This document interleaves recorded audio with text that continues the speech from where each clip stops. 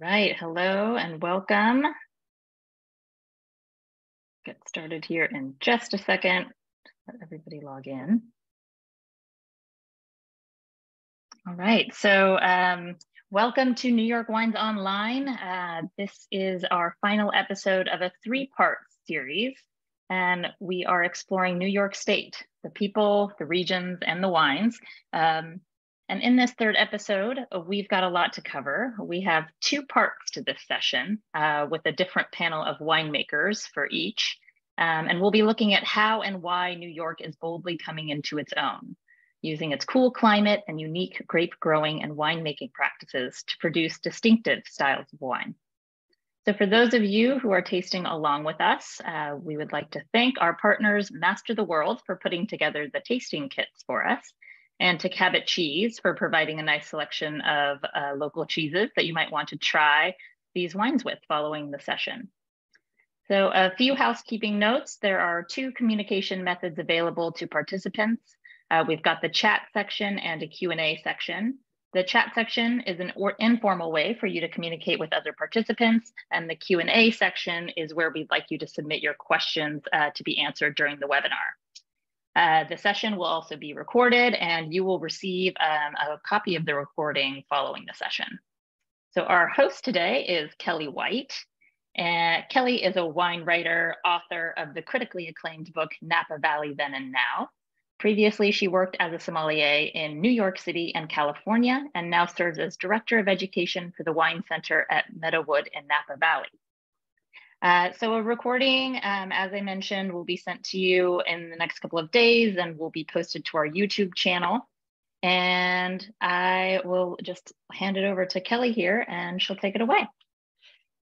Thank you, uh, Katie. I'm thrilled to be here. Uh, I'm excited to be talking about these wines with um, such a wonderful panel. Uh, as Katie mentioned, we have a lot of ground to cover in a short amount of time. So uh, I want to, you know, ask everyone's um, patience as we we keep things brief. Um, one thing that we decided not to do in this particular webinar was to take a minute and do an overview of the different wine growing regions of New York State. Because this is the third in a series of webinars, um, and there are you can refer to the other webinars um, for that information. But the individual um, winery representatives here today will, of course, be um, touching upon some of the unique characteristics and challenges of their regions.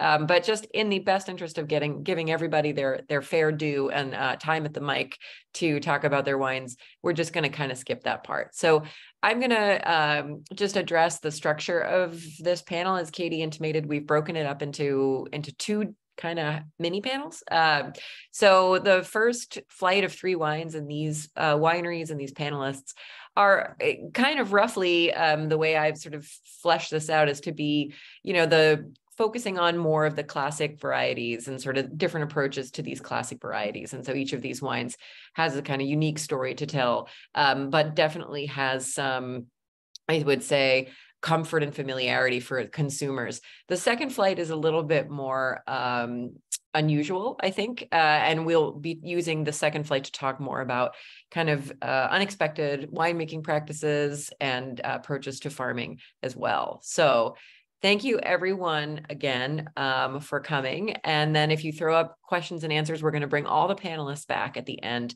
to address um, all your questions. But if something particularly salient pops up, Katie will let me know and we can address it midstream. Uh, but let's go ahead and jump right in with Ben at Osmote. Um, ben, why don't you tell us a little bit about um, your corner of the world, uh, your winery, and then of course the the wine that we have in front of us. I think you're on mute, Ben. Hey there. Thank you, everyone, for the opportunity. Great to be with you. I am Ben Riccardi, the owner, the winemaker for Osmote Winery. I'm located on Seneca Lake. Um, this is the deepest lake in the Finger Lakes, and the um, wine that you have, the 2021 Chardonnay Seneca Lake, um, obviously comes from vineyards on actually the east shore of uh, this lake. So this being the the deepest lake and my fruit sourcing being on the east side, um, steep hillside vineyards, which appreciate a lot of warm afternoon sun and in their steepness um, and with the um, glacial, alluvial um, gravel soils that they have, these I feel of, um, the, the vineyards from which I buy, these are the sites which uh, give me the, the greatest concentration, the smallest berries, the most um, potential for complexity and an ability to uh, marry to oak. So the wine in your glass is an oak fermented and aged um, Chardonnay. Um, Osmo means to move naturally towards balance. It's meant to be an ode to the lakes and the way they um, balance our, our, our weather. But it, it's also an allusion to what I'm doing in the winery and maybe what makes this wine uh, unique. So that means I, I believe very strongly in uh, natural yeast, um, you know, vineyard yeast fermentations, just letting the wine kind of make itself. Um, and I that's tends to be a, a pretty long and, and slow fermentation but um, I feel it drives complexity and it really helps um, to integrate oak into the wine. And then uh, further to help the integration, uh, I'm, I'm using rather large uh, barrels, uh, 400 liter barrels. It's French oak. There's a good amount of uh, new French oak on these. Uh, I think you you see that in some of the the, the tropical notes, some of the um, sweet spice, um, maybe hazelnut uh, aromas, things of this nature, but also, um, you know, the, the, the, the, oak and the large size of the oak uh, and, you know, a very leesy um, fermentation. I, I, hope that it helps bring kind of a reductive edge, um, which you might see as that, um, you know, a flinty struck match sort of just a, a slight you know, um, hint in, in the back. Um, this, this wine's from the 21 vintage, very cool, high acid vintage. And that led me to um, think kind of like uh, Muscadet and, and take some, some lessons that I, I learned in, in New Zealand, um, kind of studying like Kumeu River and such. So there's a lot of extra um, lees work trying to develop uh, texture with an otherwise very um, tight, kind of lean Chardonnay. So enjoy everyone. And if you have any questions, I am more than happy to answer them.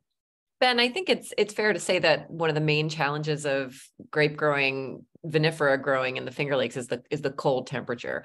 So, Katie, can we go back to that map for a second? Um, that shows where this fruit is coming from. So in case it just wasn't clear to the people listening, my understanding, and Ben, please correct me if I'm wrong, that the it's the the southeast section of uh, Seneca Lake is one of the warmer places um, to grow grapes in the Finger Lakes. Is is that accurate? Yeah, historically that's been called um, the Banana Belt, and mm-hmm. there's a there's a road here called uh, Peach Orchard Road, which um, is a name that kind of goes back to the uh, Haudenosaunee um, what the French called the, the Iroquois um, Native Americans. They actually cultivated peaches out here, recognizing that this was kind of a warmer spot. And, you know, that's, that's the combination of Lake Erie in Ontario above us and, and to our west, kind of um, tamping down the cold from Canada. But then further, further still, those cold, the, those that cold air is, is moving uh, uh, across our, our lake before it's hitting this side of the lake. And, and then not to mention, you know, again, we, we are sloped towards afternoon, warmer, west facing. Mm-hmm. So I'm inter- I'm interested to know. So you you mentioned that you purchased the fruit for this wine. Did you have a, uh, an idea of Chardonnay in your mind and then sought out a fruit source from a, an area that you knew would sort of support your vision, or did you start out with the fruit and then decide how do I approach this in the cellar uh, in order to create the wine that that I want to make.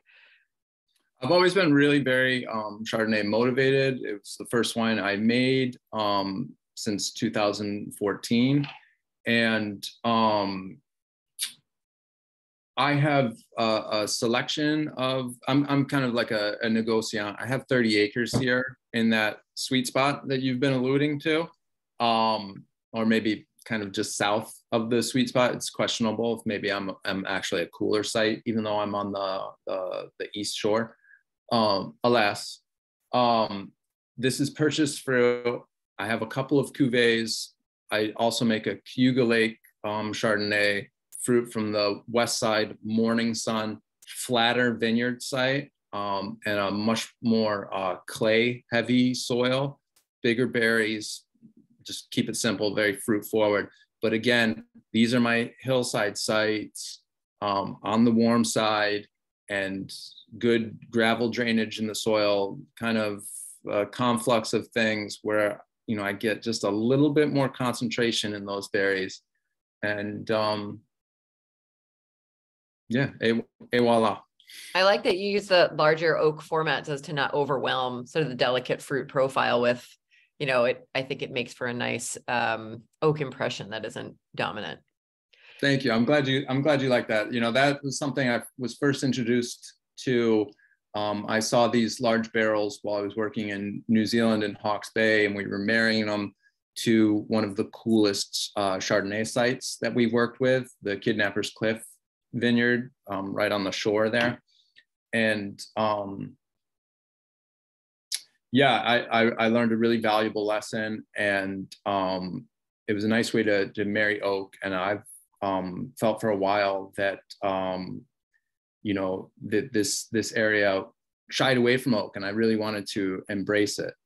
Um, Great. Patricia, I did not actually work at Kumeu River. I worked for uh, Craggy Range drank a good deal of Kumeu River and then read about some of their techniques in a great book, um, Taming the Screw by uh, Tyson Stelzer.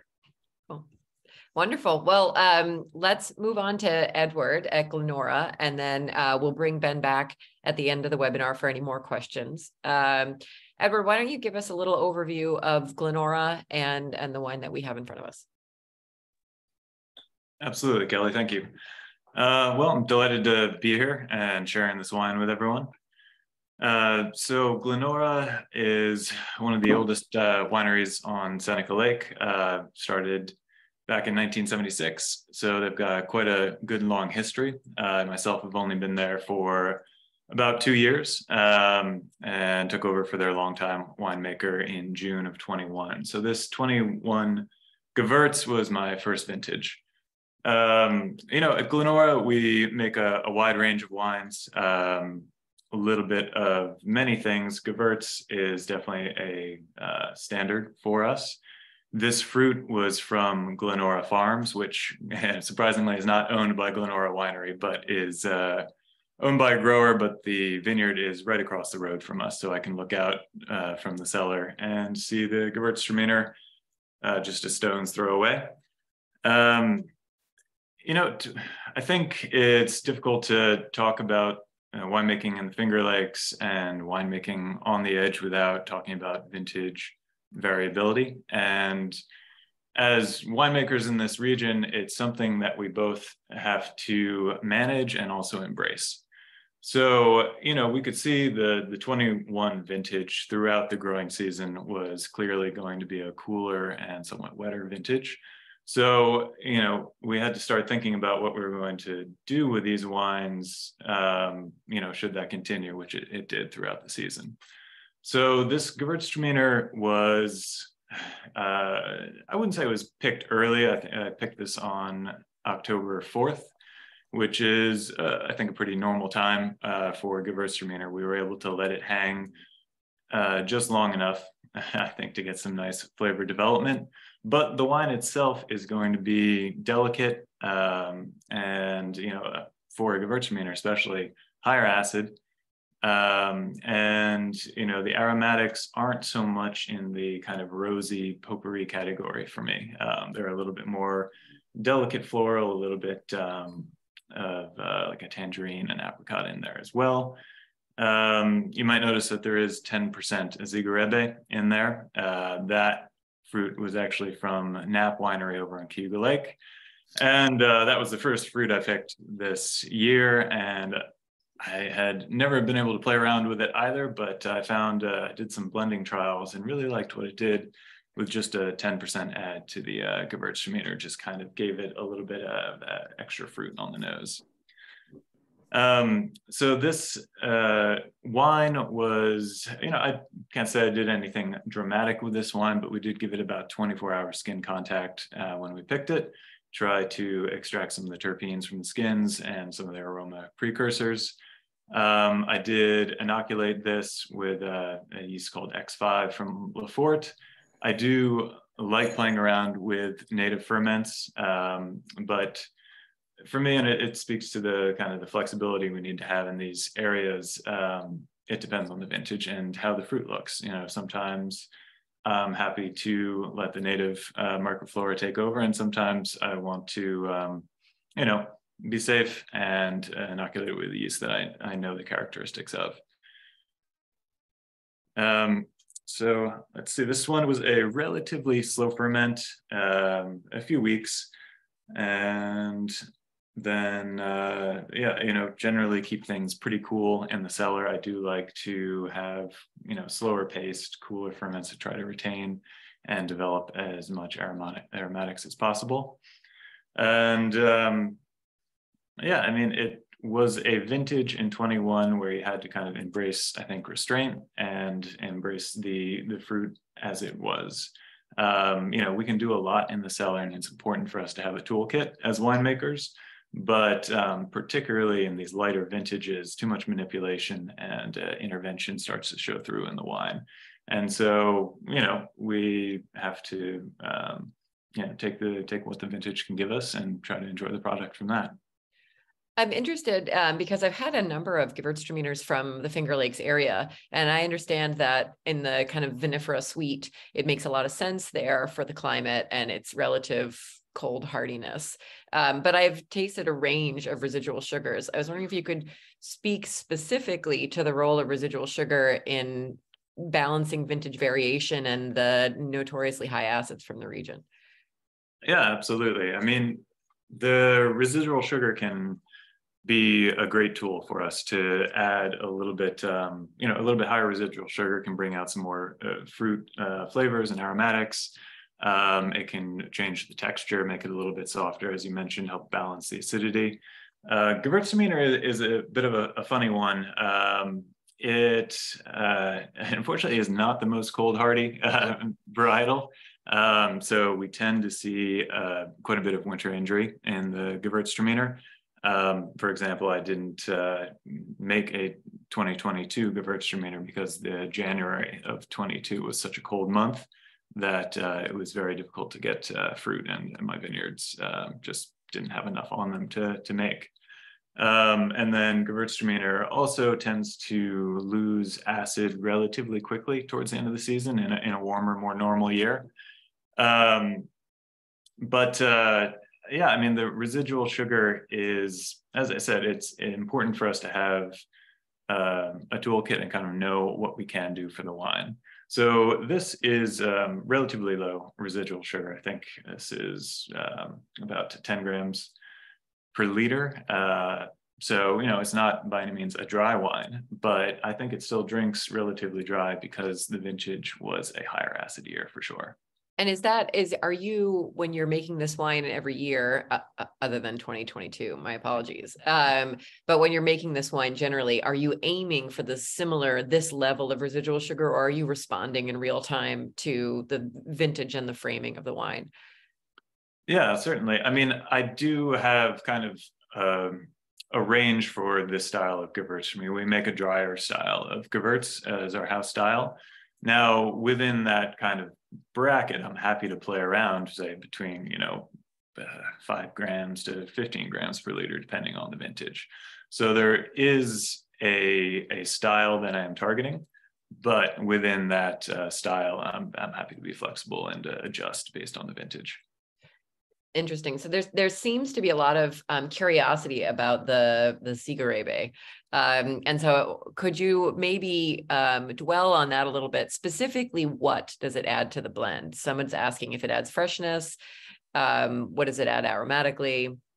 Yeah, certainly. Um, so the the Siegerrebe is a it is an unusual one. I think Knapp is probably the only or one of the very few places that are, are growing it. They planted an experimental block, uh, I believe back in 2005. So it's a it's a small block on their vineyard, and it is a um, a crossbreed uh, between two viniferous species, um, and it, so it, it, has some characteristics similar to Gewurz. It has some of the floral notes, but for this vintage, um, I mainly added it for the aromatics. I thought it gave an extra little punch of some uh, of some fruit to this. As I said, I knew I wasn't really going to get like the the really intense rose or even you know on the palate the really intense kind of oily uh, feeling that some Gewurzes can give from this vintage. So um, in uh, playing around with with blends in the cellar, I felt that that 10% just lifted the aromatics and gave it a little bit more fruit that I liked. Okay. Um, I, you know, in preparation for this, because I don't have a lot of experience with this variety, right. I've got my handy dandy wine grapes out, and uh, the primary characteristic this book lists are its its you know sort of muscat scented um, characteristics, so aromatic, and of course, you know, it is worth pointing out that this is vinifera. Um, so yeah. um, kind of interesting. Anyway, um, very fun. Edward, thank you so much. Yeah, thank you very much. Happy to be here. All right, let's move on to um, to Phil at Montezuma. Um, Phil, tell us a little bit about this wine and your winery. Hi, thanks, Kelli. Um, my name is Phil Plummer. I'm the head winemaker uh, for Montezuma Winery. We're located in Seneca Falls on the north end of Cayuga Lake. Um, and this wine is part of a new series that we launched back in uh, 2020 called our Voleur series. Voleur is the French word for thief. And the idea here is that we're, we're stealing ideas from all over the world and, and seeing what they look like when we scale them to the fruit that we're working with here. Um, this wine is actually not a, a, Finger Lakes wine. It was sourced. If you look at the map there, if you want to leave it up for a second, um, just uh, northwest of, where you see the dot for the winery, there's a bay on Lake Ontario, Sodus Bay, and that's where this fruit was grown. Um, and, and, we had been working with farms up there for for several years, and one of the things that we learned is is that they're on a totally different ripening pattern than the Finger Lakes. So uh, 10 to 14 days behind, and it made it kind of a struggle sometimes with with dry reds to get them to to the right concentration and complexity that we wanted. Um, Lemberger in particular, we had a tough time getting them to finish. Uh, they kind of disappeared after the, the mid palate impact that you taste. So we we tried a bunch of different things to to make interesting chillable red wine with this, and uh, it occurred to us that one thing we hadn't tried was co-fermentation, and uh, just a, a, few rows over in that vineyard was some Gruner Veltliner that was coming into production, and, and we didn't have a, a a home for it. This was a farm that we contracted to buy everything everything they could grow. So we didn't have a home for the Gruner, uh, and it made sense to to try it Cote Rôtie style. So we brought it in. Uh, it ripened about a week ahead of the Lemberger. We put the the fermentation bins up on our pallet scale and crushed 300 pounds into each of them, and and then let them. Uh, we inoculated them, let them start fermenting, and when the the Lemberger was harvested a week later, we just crushed it on top of the the active fermentations. So we, we let it take off and take over. Um, Post pressing after about 14 days, uh, this was all in neutral oak for, for somewhere around five, six months before we pulled it and bottled it. Just real light, low alcohol, um, just super fresh. And I think that the Gruner reinforces all the fun secondary aromatics and flavors that we like out of Lemberger. So that pepper thing that's that's there gets uh, even stronger with Gruner behind it, and then we can put some some cool citrusy edges on it as well.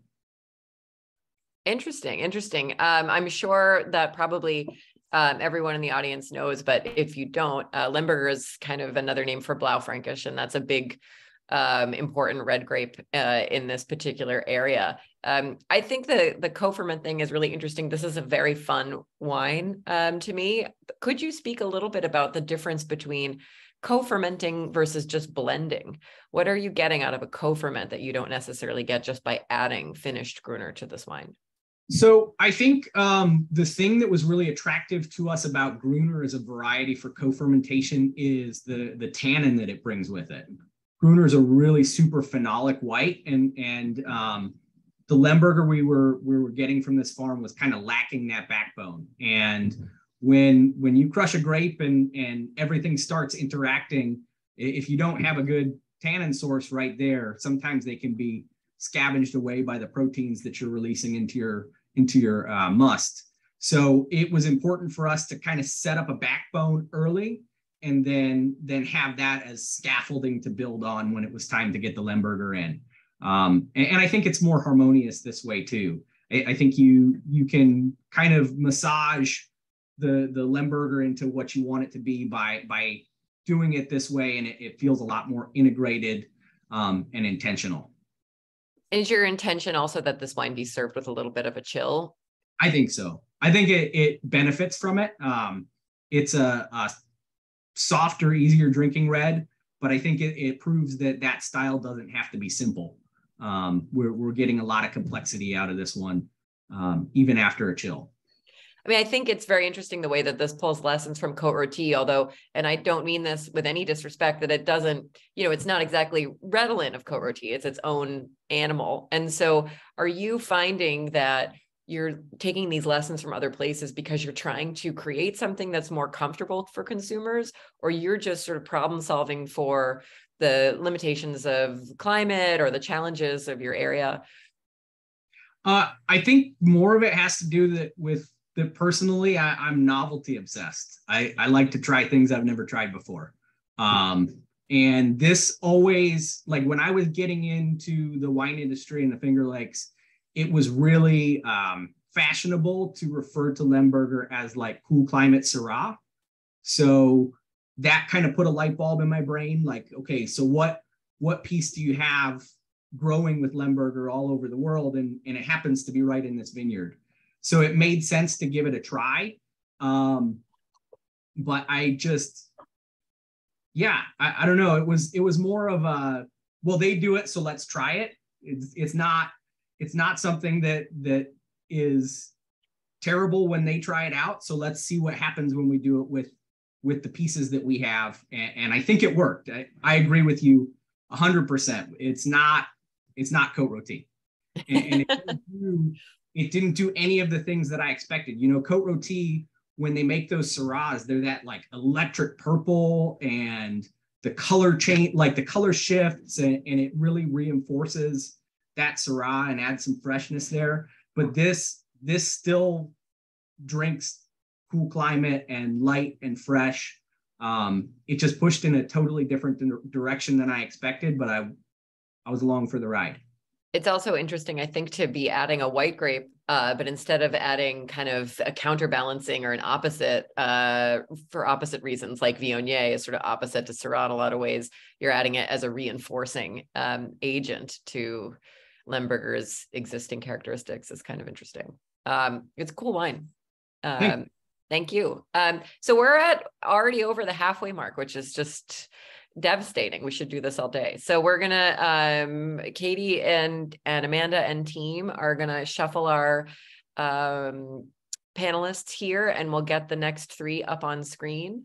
Uh, but thank you guys very much for really fun wines, really well made, beautiful wines. Um, and we're excited about the next round. So We've got Christopher Tracy from Channing Daughters, Ben Stamp from Lakewood, and Amy Opiso from Lieb uh, joining us um, with three really um, tasty wines to show off.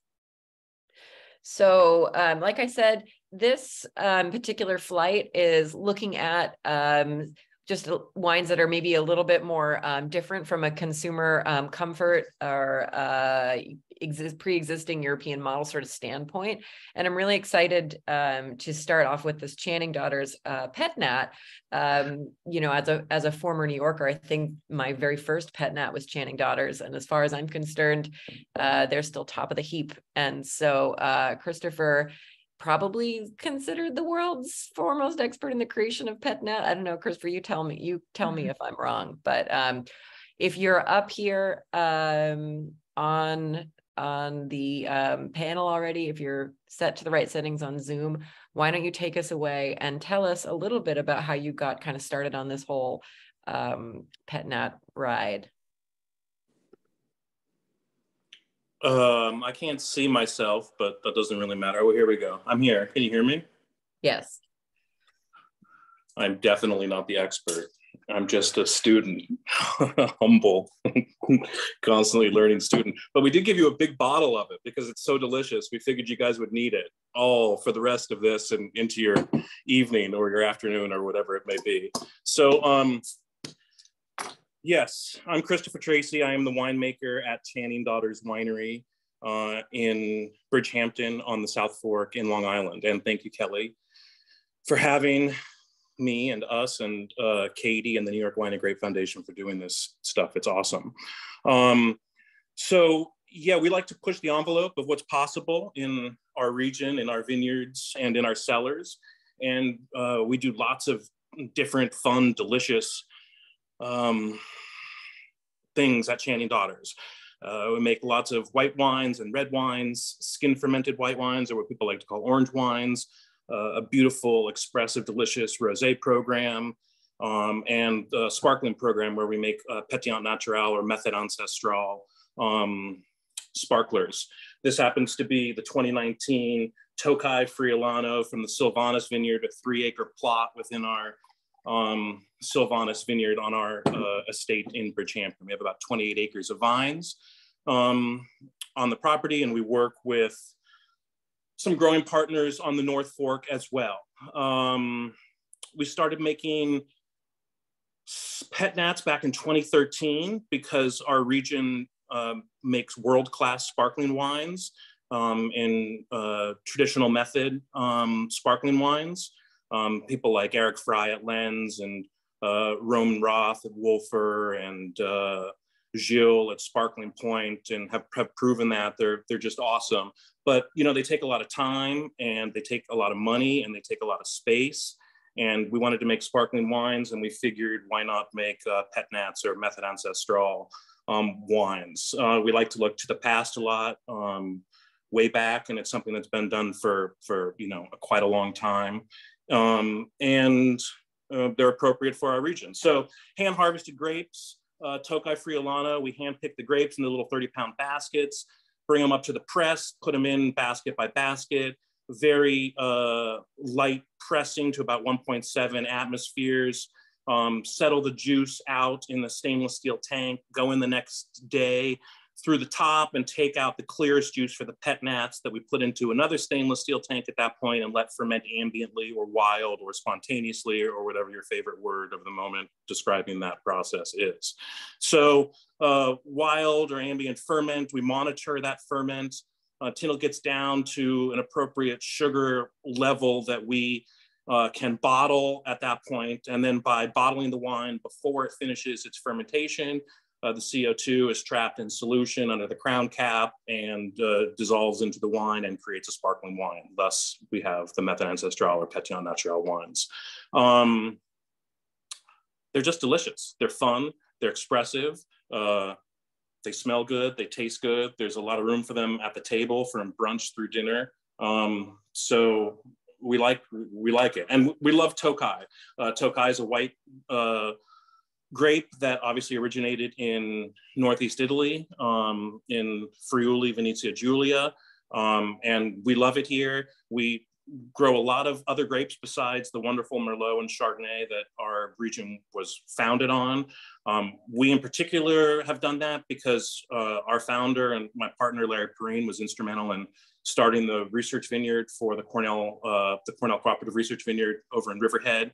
So uh, with his work there in the 80s and then Alice Wise's continuing work there for our community and our industry, we knew that grapes like Tokai Friulano, Lagrein, um, Muscat, uh, Refosco, uh, Dornfelder, Blaufränkisch would work. And that's why we've planted these grapes, you know, from well, this vineyard went in in 99. Um, so when we make still wines from it, we make sparkling wines from it. We use it as a blend in symphonic white wines. So we really like to play with Tokai. So cheers. I hope you guys like the wine. Cheers. The wine is delicious. Um, I'm interesting, interested if you could talk for a little bit about the South Fork in particular, because my understanding is there really isn't a lot of viticulture on the South Fork since there's such a high um, competition from a real estate, um, other, you know, other purposes for that real estate. How would you, if you can, um, kind of differentiate the South Fork from the North Fork um, for the people watching? So um, yeah, there are only three commercial wineries on the South Fork, us, Wölffer, and Duck Walk. Um, there are some other vineyards, um, and it's crazy because there's more plantable agricultural land on the South Fork than there is on the North Fork when, when you look at it. There's, but the land was bought up here, and the real estate competition has been huge for more than half a century. Um, obviously, because people wanted to come out here and be near the ocean. So, you know, our, our we're only two and a half miles from the Atlantic Ocean, and then uh, the bays the bays are on the other side of us and so um, you know the differences uh, between like Channing Daughters and Lee that you see there are as great as the differences between like Riverhead and Greenport. Um, but there are differences uh, between the South Fork and the North Fork. We do get a bit more of an Atlantic influence because we're the buffer for it right there. Like I said, we're only about two and a half miles from the ocean, which makes for my fishing great. Um, though it's great on the North Fork too. Um, but so maybe one to two degrees cooler, maybe one to five days difference in bud break. Um, the soils are different. We have three, we're loam soils out here, part of the same, um, you know, glacial event that created the Finger Lakes 10,000 plus years ago, you know, ended here.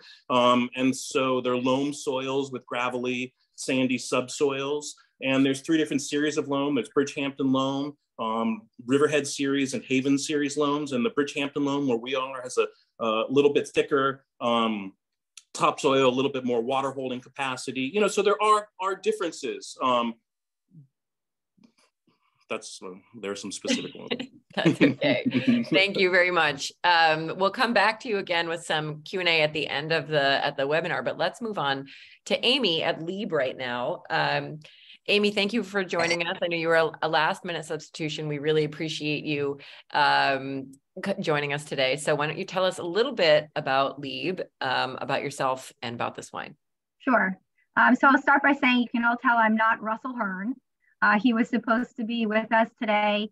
He is um, our winemaker, um, and he has been our winemaker from uh, the very beginning. So I was hoping that he could be here today. Unfortunately, he's dealing with a family thing. Um, but why, why I was really hoping he was going to be here today, I was going to actually be um, attending, is because I know he's particularly excited um, about this wine. And it's not one that we normally um, present uh, in panels like this because we're typically always talking about our Pinot Blanc, which is our sort of signature wine and one that gets the most recognition. Um, but my name is Amy. I am the general manager at Lieb Cellars, and um, I've been the general manager here now, which is crazy. Christopher, you may not remember this, but I came and tasted at Channing Daughters almost like eight years ago now. Um, and I've been the winemaker, I've been the uh, the GM at Lieb Cellars for, for a decade now. So I have, yeah, it was actually one of my most um, memorable wine tasting experiences um, at Channing Daughters. So I all I encourage you guys to to go there and taste with Christopher if you ever can. But I've been at Lieb now for 10 years. Russell, as I said, has been with Lieb um, for 30 years. Um, Lieb was established in 1982 when Mark Lieb, our original owner, purchased our Pinot Blanc vineyard right down the street. Um, and the Long Island, there's a lot of sort of anniversaries going on 10 years for me, 30 years for Russell at Lieb, and 50 years for Long at the Long Island wine uh, country. So um, it's pretty exciting what's gone on in those in those 50 years. And um, something that's exciting for us at Lieb Cellars is uh, what we're now doing with this wine and this new um, nine acre vineyard that we are farming. So even though Lieb has a pretty long history, um, this is a 20, this is our 2020 estate, Teroldego Lagrein. Our first vintage of this was actually 2019. So this was only um, the second vintage of this wine that Russell made. And um, we started making it in 2019 when we took over um, farming and leased a small nine acre vineyard in Southold, about five miles um, away from our state vineyard where I am right now in Cutchogue. So at that vineyard, there is about 3%, uh, three acres, I'm sorry, of Teroldego and three acres of Lagrein. Obviously, um, lesser known uh, varietals, less popular varietals here. I think, uh, Christopher, do you guys have some Lagrein planted? I don't know if there are any other, there's any other Teroldego planted. We, we, yeah, we have Teroldego planted too. We, we planted Teroldego, interplanted Teroldego and Blaufränkisch in the Sculpture Garden Vineyard way back before before Southold planted that vineyard, and we planted because I remember Regan coming to ask about it and talk about it, and um and we planted Lagrein as well. We have Lagrein on that, but there's nobody else besides besides us, and now you guys um that have that have those varieties, and we don't have any. We have Lagrein that we make as Lagrein, obviously as a red wine and sometimes as a rosé, but the Teroldego is just part of of a field blend, and we don't have enough to make as a as as a variety. Got it. So we have, um, you know, three acres of each in that vineyard. And I believe the reason why um, Russell was drawn to it um, is first and foremost because he likes Northern Italian um, wines. If you ask him what's in his cellar at home, he would say that it's, it's mostly Italian uh, wines, which is interesting because he's Australian and he's made wine in um, Australia, New Zealand, France, California, and now um, the US. But he is uh, his favorite um, uh, uh, winemaking country is Italy. And so I think he was, you know, interested in these two varietals for, for uh, two reasons. One, because he's liked wine made in um, Alto, Trentino Alto Adige, that the region where these wine, uh, varietals originated. Um, and because he was looking for, I think, a challenge, as we all do you know, as a, as a lot of the winemakers do when he get he got into sort of I think a rhythm with our Bordeaux varietals and the other varietals that we have planted, and and he was looking to sort of do something different and try to make you know um, good wine out of these varietals that uh, he's he's drank and he's loved. So um, this wine is 66% Teroldego, 34 34% Lagrein. Um, and what he tells me sort of he gets out of uh, blending them. And the reason that we are blending them is because Teroldego is giving us a lot of color, um, tannin, and spice. And then from the Lagrein, you get a lot of those red um, cherry fruits, and then also brightness and acidity. So I think that um, you know there's real there's sort of a real nice balance going on. And I think when we tried, you know, the 2019 as a team originally, um, Russell sort of, we were tasting and he presented to us. What was striking to us was, um, you know, first and foremost, the color on it. It's definitely our, our darkest red wine that we're making. Um, but then if you, you know, if you get past the color and you taste the wine, I think it's, um, you know, more sort of um, balanced and fresher than you would expect on on the palate. Um, and I know that that Russell, you know, it was a little bit of an experiment for him to start farming this vineyard um, and making this wine. But I, I I can tell from him that he likes it. He's excited by it. Um, he drinks it, and I believe that he um, uh, thinks that these varieties are well suited to our area uh, because uh, you know, they're both early ripeners. Um, the uh, tannin that's developed when, when we're growing these, even in a short period of time, um, is, is soft and the wine doesn't need that much oak. So in a vintage like 2020, Christopher, you'll remember it was sort of, we call it the vintage of extremes.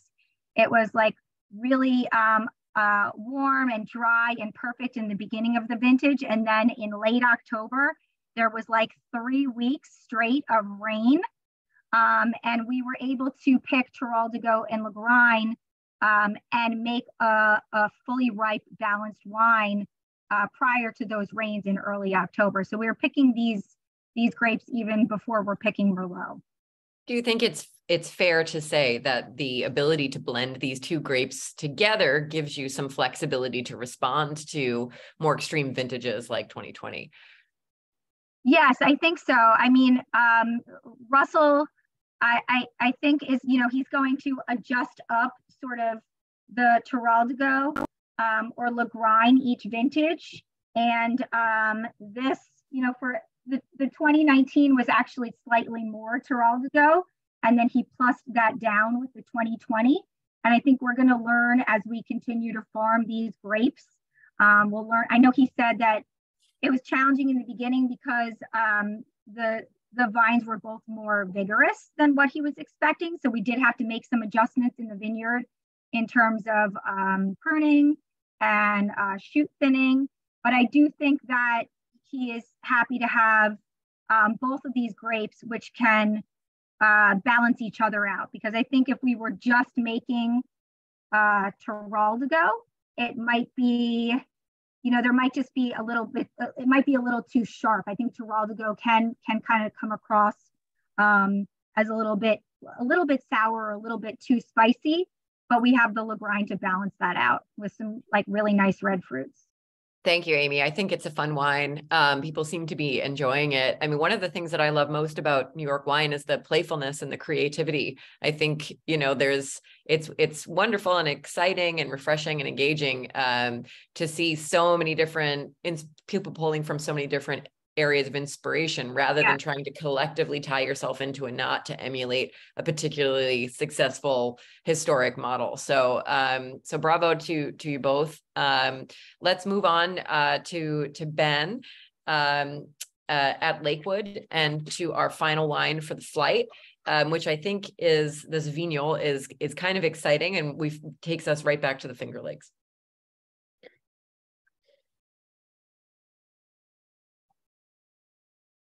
Great. Thank you very much, Kelli. Um, and thank you, everyone else. These wines, uh, I was kind of at first thinking, man, Vignole in this lineup might be a real outlier. Um, but after tasting these wines, they're all so tasty and they're so unique in their own way um, that I think the Vignole as a kind of a sweet, almost dessert style here really fits in at the end of this lineup. And I hope you guys enjoy it.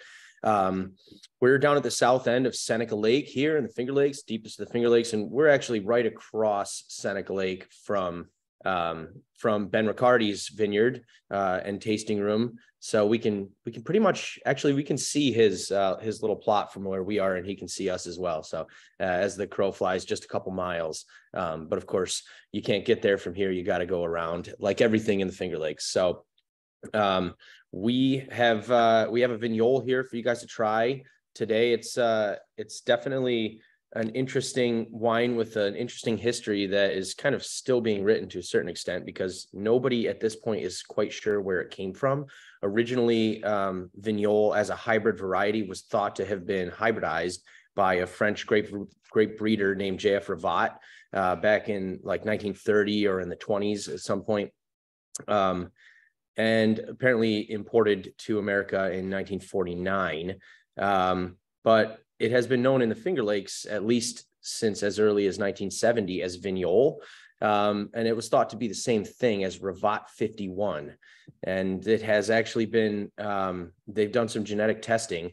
Uh, the initial Ravat 51, they thought was, uh, had, had two main parent varieties, which was um, uh, Le which is a Seibel clone, uh, 6905.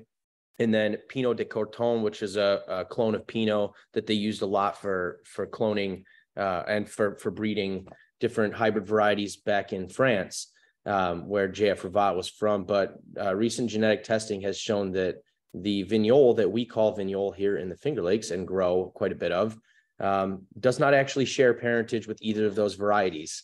Therefore, we have something that we don't really know what it is or where it came from, but it grows quite well here in the Finger Lakes. And that's what you're tasting right now. Ours was planted in the early 70s and uh, it was planted right here next to what is now our winery and tasting room. Of course, those were not in the ground at the time, uh, but my grandfather planted these vines, and he was a pioneer of of uh, viticulture here on Seneca Lake and in the Finger Lakes, and and really kind of uh, got his hands dirty every day out in the vineyards, learning how to grow hybrids and uh, vinifera's here in the 70s and 80s. So um, it's an interesting variety in its own right. It definitely uh, is more of a concentrated hybrid that drinks kind of more like a vinifera, doesn't have a lot of real in your face hybrid characteristics. Um, but it tends to get quite ripe and keep high acid. Uh, but we can also make a nice balanced sweet wine because it it brings in pretty high um, uh, pretty high sugar as well. So it's not uncommon for us to pick this between 25 and 26 degrees Brix, which is uh, pretty tremendously ripe. And usually that's coming in um, sometime around the third week of September, sometimes the fourth week of September here uh, depending on the vintage. 2021 was a pretty challenging vintage here in the Finger Lakes, as Ed kind of alluded to earlier. And so uh, we were out in the vineyards uh, quite often. Um, we went through this vineyard every week for about a month, and we would drop any fruit that showed any signs of infection, which in this particular vineyard is challenging. Uh, has really small berries and tight clusters, and they are pretty prone to developing botrytis, which of course you guys may know as noble rot. Um, and botrytis cinerea uh, sets in, and and if it remains dry, you can make a really nice concentrated wine with those honeyed and earthy characteristics that that noble rot gives you. But if it stays wet, then uh, that can develop into other other levels of uh, uh, rot and infection that we just don't tolerate in the cellar. So we were out there a lot looking for those and cutting them off, which is of course pretty heartbreaking. But I think we were really able to save the crop um, through all that through all that heartbreak and and made a pretty nice wine here uh, out of that. So um, yeah, it's a it's an interesting wine, and um, it's one that that is always like right there off the back of our press deck. So we're keeping a really close eye on it because it can turn the corner quickly. Um, but it's uh, it's definitely got a, a, richer texture and it makes a nice kind of sweeter dessert style wine. Um, but you know these these hybrid varieties um, they have an interesting history here in the Finger Lakes. Uh, you know, there's a lot of hybrids being grown here in the Northeast in general, especially here in the Finger Lakes. Um, but it has an interesting history in, in France as well. I mean, that's where most of these hybrids hail from originally and are actually still grown to a certain degree. Um, but uh, this one is particularly that out of all the hybrids that we make, this is my favorite. It has a richer texture and kind of a more sophisticated aromatic profile than most of the other hybrids that we do. Um, here in the Finger Lakes. Uh, so I tend to get a little bit of a kind of a honey and apricot and a little bit of um, pineapple. And some years it can kind of have a rich kind of honey spice to it as well um, and a wildflower aroma. But uh, yeah, anyway, I hope you guys enjoy this and um, happy to answer any questions you have about it as well. Thanks, Ben. I, I like this. I like Vignoles in general, and this is an especially good one. Um, I know that you've already outlined some of the challenges of farming Vignole, um, but I think I understand there's some benefits as well in terms of its kind of arc, arc, ripe the timing of certain key windows in its ripening arc. Can you talk a little bit about that? Why Vignole makes sense in the Finger Lakes? Yeah, um, definitely. So Vignole is quite cold hardy, and so we can usually rely on a pretty good crop from Vignole despite uh, the cold winters that we have. Um, thankfully, we've had pretty mild winters for the most part for uh, for quite a while now. So um, that becomes a little bit uh, a little bit less of a of a concern. But um, you know, as soon as we aren't, as soon as we stop selecting the right uh, the right fruit for the right site uh, is when the cold winter rolls in and and uh, shocks us back to reality. Um, so the nice thing is we can we can plant this up a little bit further away from the lake. Um, so cold hardiness is a is a definitely a big uh, uh, a big consideration here for this particular variety. Um, Vignole, other other than that, you know, I, I know that um, growing hybrids is is seen as kind of like a, a little bit of a more dramatic approach to to viticulture, but it's been going on for a long time. Like this this varietal was was bred in 1930. We are we grow some hybrids here uh, at Lakewood and and uh, purchase some from our partner growers here on Seneca Lake and on Keuka Lake. Um, you know, they were hybridized back in the mid 1800s. Um, so they've been around for quite a while. They're more modern varieties in the sense that they are hybridized between Native American, um, Native European stock, but uh, they have they've been making a lot of wine out of these for for a long time. And um, I'd say besides the cold hardiness, the Vignole, as far as we have uh, can tell, and we've been growing it for over 50 years, um, is actually not a very easy grape to grow otherwise. We have some hybrids that we grow, say Cayuga White, for instance, which is a bit more of a modern hybrid uh, developed at Cornell University that is disease resistant, drought tolerant, cold hardy, crops really well, um, nice loose loose clusters, and uh, that's and ripens early that is an ideal hybrid. Vignole, if it didn't taste so good, we would not make it. We would not bother because it's a real pain to grow.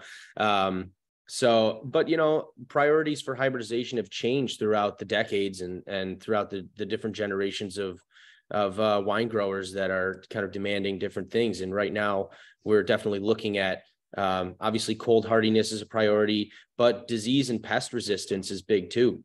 How can we uh, how can we manage the vineyards with as as little chemical input as possible? How can we um, manage the vines uh, in in the most sustainable way? How can we ensure that we won't have to do a lot of replants because of winter damage? And how can we ensure that uh, that these crops are going to get nice and ripe each and every year? And so these are uh, these are considerations that they that they factor in a lot more now than they used to when hybridizing. Um, not to not to you know, throw too much shade on JF Ravat. Uh, not that he'll mind; he's been long dead. But um, you know, these they they at the time uh, during during uh, kind of a big spurt of hybridization back in the late 1800s and early 1900s, they were really just trying to find new things uh, that tasted good, and um, you know, they they did find some of those, but they uh, I think we have a little bit more, um, a lot more money goes into it now. That's for sure. I mean, Cornell University runs a, a large grapevine breeding program, and they put a lot of money and attention into uh, into finding varieties that that are more sustainable, and uh, so and they have a pretty rigorous methodology for that too. That takes decades to to produce one. So um, we've we've learned and built on on all of these things from the past, but you know some of these are are uh, are delicious anyway.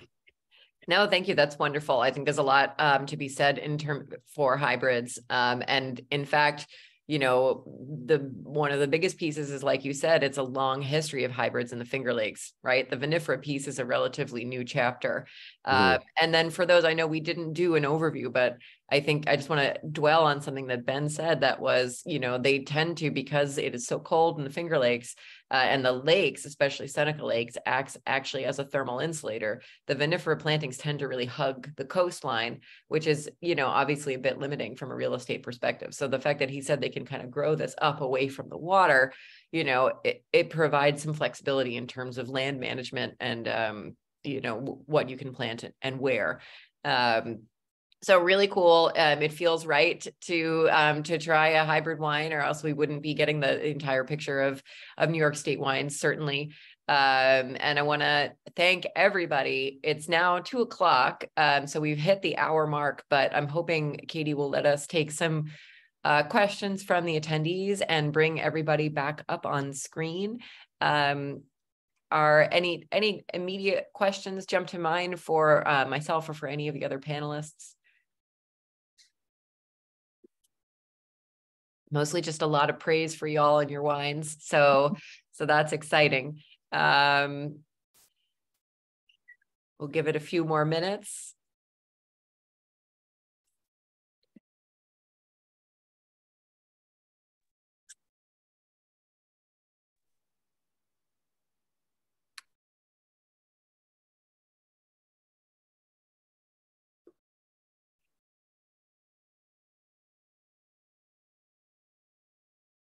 I actually had a question um, for Ben on just talking about how you said, you know, with the hybrids and how they're more focused about being pest and disease resistant.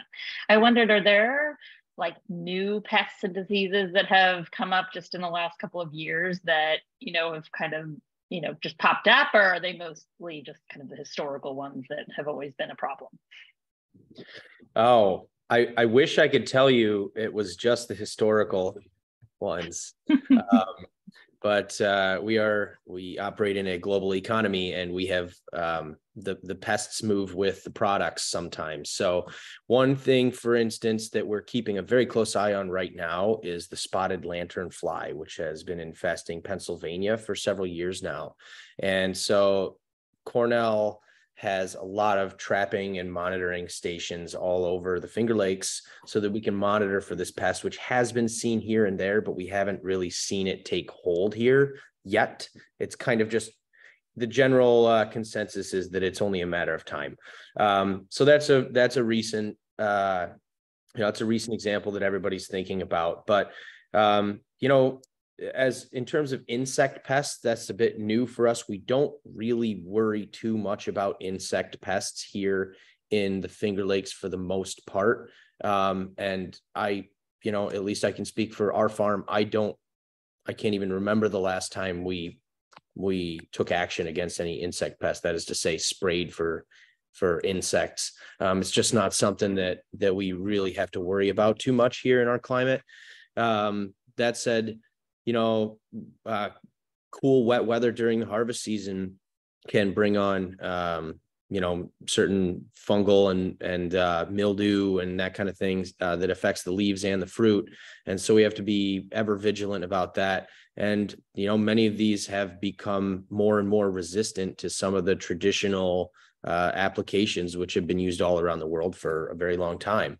Um, so uh, it, it becomes more difficult to deal with those. So having some varieties that have some built-in natural resistance to those makes a huge a huge difference. And one of the the best ways to keep your fruit clean is to have a nice open open canopy, of course, and allow your fruit to dry off after a after a rain event. But if your clusters and your berries are really tightly packed together, like Pinot Noir, um, for instance, or Gamay or let's say Vignoles, uh, that's that's not really helping you all that much. Um, and what they've done now is uh, one of the priorities for their grapevine breeding these days is to find varietals with looser clusters so that air can circulate through the cluster and actually dry out the fruit and decrease the the uh, pressure from those pathogens to begin with. So there's a couple examples for you. Yeah.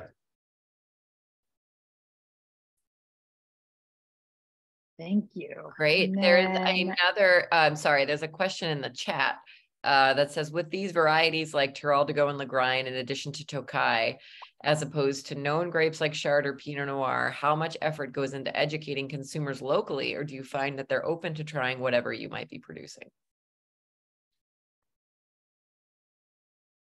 Um, I can I can answer that, and Christopher, I'm sure you sure you'll want to add to it as well.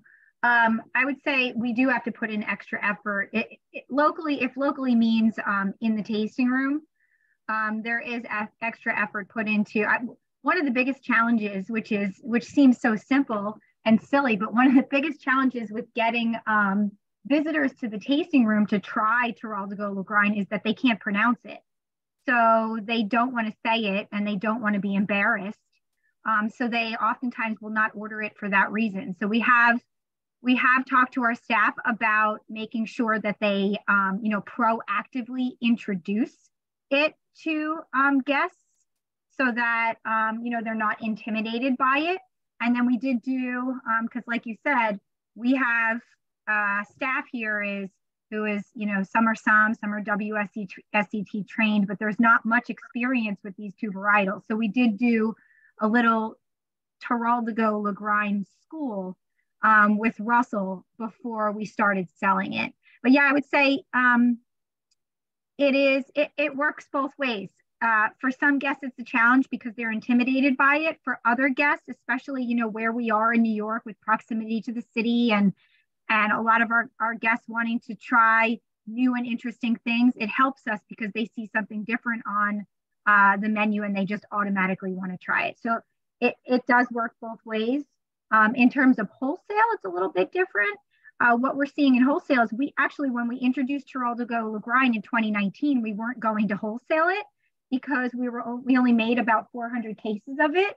Um, but we had uh, accounts and SOMs and buyers actively reach out to us about it because they were looking for something new and different. So I think it, uh, it again, it's it's a positive and a negative in wholesale as well. It, it may not, we may not ever sell as much Teroldego as we sell Cab Franc or Merlot, but there are buyers that are proactively seeking it out from us. Yeah, I would agree with Amy that it, it's true. It works both ways, especially at Channing Daughters. People look to us and have for a long time because we grow so many different varieties and make so many different styles. So people are coming looking for, um, again, something that pushes the envelope with us. But you know, we look at that as an opportunity too when people aren't familiar with it. We take education very seriously and have people that have been with us for a long time, and we really like to spend time with people when they come in if we can um, to educate them about the varieties and styles in Long Island and wine in general. And to be perfectly frank, I think that's true with consumers across the board, whether it's Lagrein or Sauvignon Blanc. There's tons of consumers that come in that may know lots about wine, may know some about wine, and may know nothing. So whether it's Lagrein or Teroldego or Tokai or Chardonnay, um, you could be in the same boat. they could have equally no knowledge about any of those things.